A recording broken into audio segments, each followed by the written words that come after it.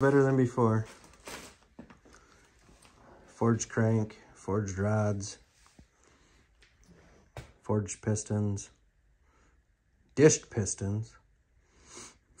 Crazy part was they didn't look like they were dished, but they must, they were a tiny little bit compared to the domes that are in it from before. All the timing components are installed. Time for a set of valve covers, some spark plugs, oil pickup tube, and an oil pan on a windage tray. Let's use a thousand horse engine. Ah, it'll be fancy good for, back plate yeah. for black score.